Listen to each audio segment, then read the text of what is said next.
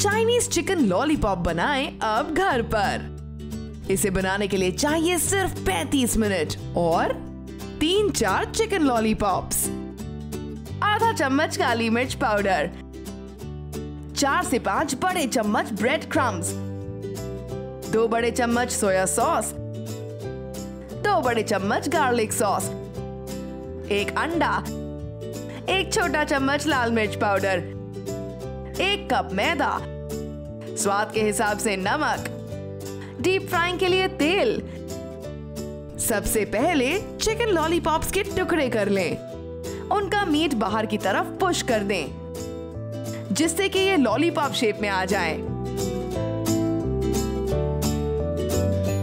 इसमें मिलाएँ दो बड़े चम्मच सोया सॉस दो बड़े चम्मच गार्लिक सॉस और स्वाद के हिसाब से नमक। और अच्छी तरह से मिक्स कर ले, ताकि ये सॉस भी सभी विंग्स पर लग जाए। अब एक बोल में ले एक अंडा। इसमें डालें स्वाद के हिसाब से नमक, आधा छोटा चम्मच काली मिर्च, एक छोटा चम्मच लाल मिर्च पाउडर और फेंट लें।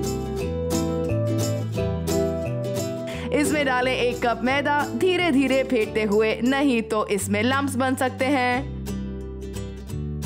ये बैटर थिक हो जाएगा। अब इस बैटर को डालें विंग्स पर। और अच्छे से मिला लें। अब एक एक विंग को उठाकर ब्रेड क्रम्स में रब करें।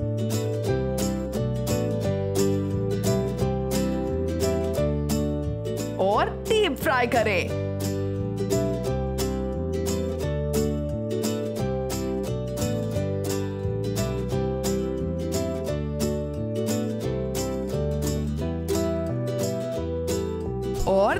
तैयार है। गरम गरम चिकन लॉलीपॉप